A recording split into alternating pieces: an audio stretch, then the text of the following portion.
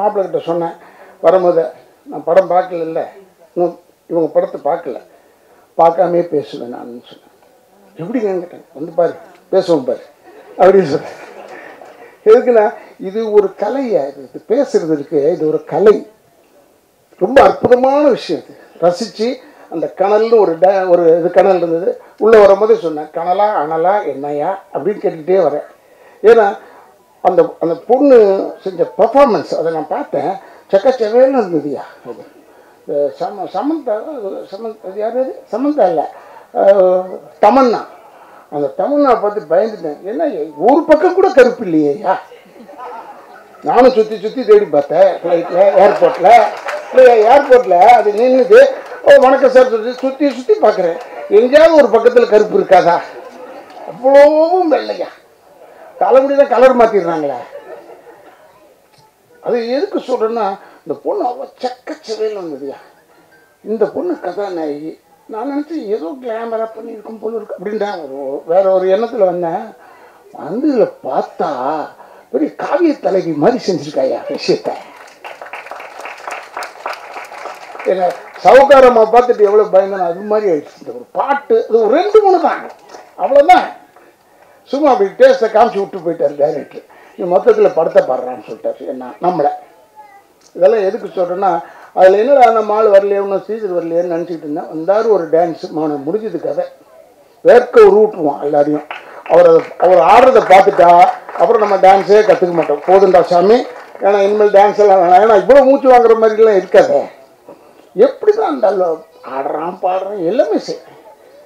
அவன் ஒரு நல்ல நடிகர் இல்லைன்னு சொல்லலை. அவருடைய பொண்ணு கூட வந்திருக்காது எம்பிபிஎஸ் படிக்குது இப்போ சொன்னார். நல்லதாக போச்சு. ஏன்னா அப்போ தான் முதல் வருஷம். இன்னும் நாலு வருஷம் முடியணும். முடிஞ்சால் அவங்க அப்பாக்கே அது வைத்தியம் பார்க்கறதுக்கு சரியாக இருக்கும்.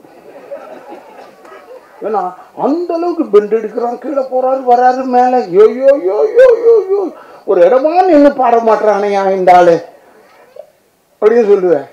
அது மாதிரி அற்புதமாக நான் ஒரு ஒரு படம் அற்புதமான குரூப் இது. அவர் பாலா சொல்கிற மாதிரி அற்புதமான குரூப் இது யுனைடெட் குரூப் இது. இந்த குரூப் இப்படியே இருக்கும். சினிமா தெரிஞ்சு வச்சுங்க. சினிமாவில் நுழைஞ்சிட்டீங்க. ஒற்றுமையாக இருக்க கற்றுக்குங்க ஒற்றுமை வரவே வராது. அடுத்தவன் உட்காந்துட்டு ஆஃபீஸில் உட்காந்து கேட்பான் இந்த படம் ரிலீஸ் ஆச்சே. அது என்னாச்சு? ம். போச்சு. அப்பாடா. அப்புறம் அந்த படம்? ம். அதுவும் தெரில அப்பாடா அப்புறம் நம்ம படம் நம்ம படம் கொஞ்சம் பரவாயில்ல. இதுதான் அட்ரு ஃபெயிலியர் ஆக்சுவலாக இந்த பரவாயில்லன்னு சொல்கிற வார்த்தையிலே புரிஞ்சுக்கணும். ஏன்னா அவ்வளோ சுற்றி அவ்வளோ டேஞ்சருங்களுக்கு நடுவில் நாங்கள் வந்து இப்போ நாற்பத்தெட்டு வருஷம் கழிச்சிருக்கோம்னா பாருங்கள் விளையாட்டு இல்லை. சும்மா சொல்லாதீங்க. ஒரு எக்ஸ்பீரியன்ஸ் கமல்லாம் அவருடைய எக்ஸ்பீரியன்ஸுக்கு என்ன மாதிரி பாருங்களேன். இவ்வளோ யங்ஸ்டர்ஸ் வந்த டைமில் அவங்க கொண்டு வந்து அவன் படத்தை சொருவி நின்று இன்னைக்கு நம்பர் ஒன் கலெக்ஷனில் நிற்கிறானா இல்லையா? அதான் திறமை. அவன் திறமைங்க. அவன் அது வந்து ஒரு ஒரு அற்புதமான நடிகன் காமிச்சானா இல்லையா? எதுக்கு இதை சொல்கிறேன்னா உங்களுக்கு தெரிஞ்சு வச்சுங்க சினிமா என்பது எங்கள் அப்பா சொன்ன மாதிரி ஒரு எச்சலை மாதிரி. அடிக்கிற காற்றுல கோபுரத்தில் போய் நிற்போம் அடுத்த கா காற்றுல கீழே வந்துடுவோம் நம்மளை கெடுக்கிறது யாருன்னா இப்போ உள்ளே வரும்போது டப்ப டப்ப டப்ப டப்பு டப்புன்னு ஃபோட்டோலாம் எடுத்தாங்க. அப்படியே ஐயோ ரேதன் ரேதனை அப்போவே ஏறிடும் உள்ள. சரவண நம்ம தான் போல இருக்கு சினிமா. இனிமேல் ஒன்றும் முடியாது. இங்கே கெடுத்து அனுப்புறது தான் மௌனம் நம்மளை. இது இப்படியே கண்டினியூ ஆகுது நமக்கு. இன்னும் இறங்க மாட்டேங்குது என்ன செய்கிறது அதான் சொன்னேன். இதெல்லாம் செவி சேர்க்கக்கூடாது ஃபஸ்ட்டு இந்த புகழ் இது கை தட்டுறது. இந்த கை தட்டுறது அப்புறமா நம்மளை யாருன்னு கேட்பாங்க. அடையாளம். ஒருத்தர் கேட்டிருக்காரு.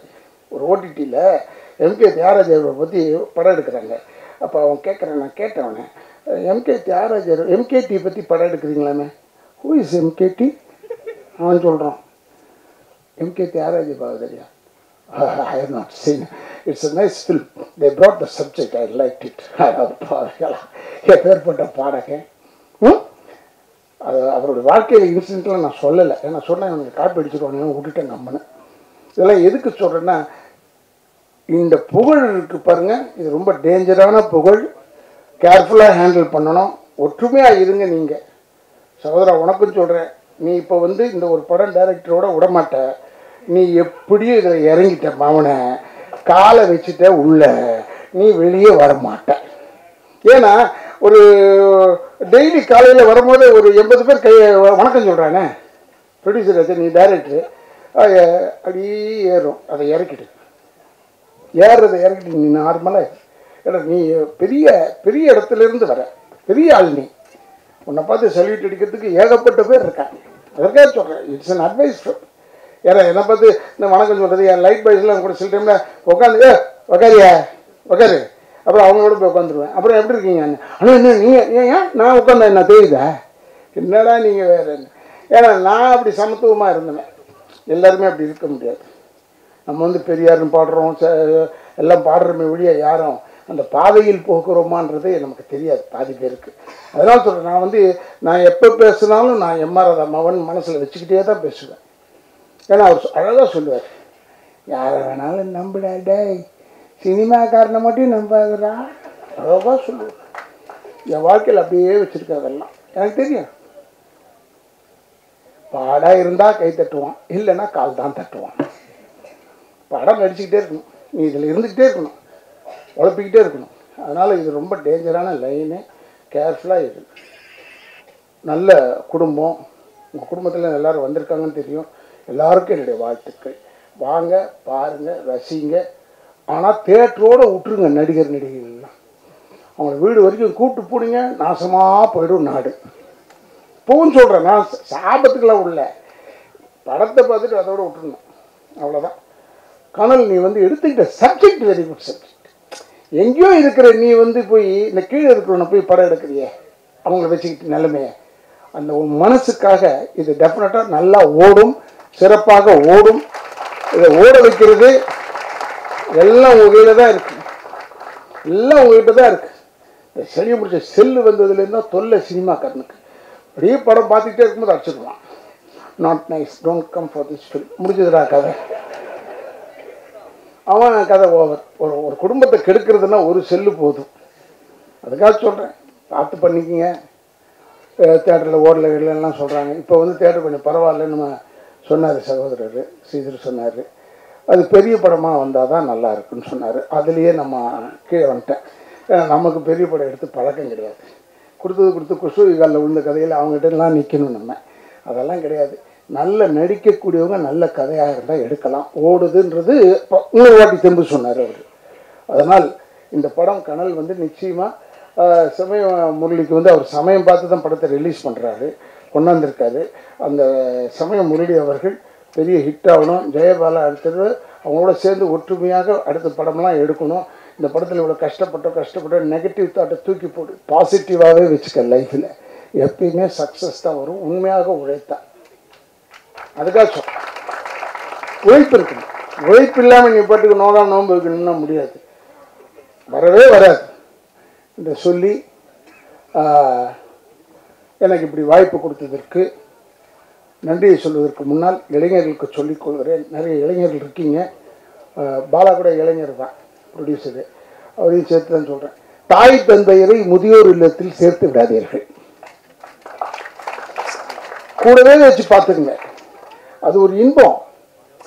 அம்மா வந்து திட்டுவாங்க. அப்பங்க தான் திட்டுவான் சரி வாங்கிட்டு போயேன். அது ஒரு தமாஷா இருக்கும். ஏன்னா அது இல்லைன்னு போது தான் நீலாம் அவசப்படுவேன் எனக்கெல்லாம் எங்கள் அம்மா வந்து என் கடைசி வரைக்கும் பார்த்துட்டு இருந்தேன் எங்கள் அப்பா கடைசி வரைக்கும் பார்த்தேன். அவர் இல்லை எங்கள் அம்மா இல்லை. நான் அனாதை இல்லை இவ்வளோ பேர் இருக்கீங்களா? நான் அனாதை இல்லை யாருமே இல்லாமல் இருந்தால் தான் அனாதை. நான் அனாதை இல்லை இருந்தாலும் சொல்லிக்கொள்கிறேன் தாய் தந்தையரை முதியோர் இல்லத்தில் சேர்த்து விடாதீர்கள். இடம் டெஃபினட்டாக அது உங்களை வாழ வைக்கும். அவங்க ஆசீர்வாதம் தான் நீங்கள் வாழ்வீங்கன்னு சமயத்துக்கிட்டையும் பாலாக்கிட்டையும் முக்கியமானவர்கிட்ட சொல்லி எனக்கு வாய்ப்பு கொடுத்ததுக்கு என் குடும்பத்தின் சார்பாகவும் அத்தனை நல்லுள்ளங்களின் சார்பாகவும் மறுபிறவி என்று ஒன்று இருந்தால் உங்கள் பாதங்களாக பிறக்க வேண்டும் என்று சொல்லி விடைபெறுகிறேன். நன்றி நன்றி நன்றி நன்றி.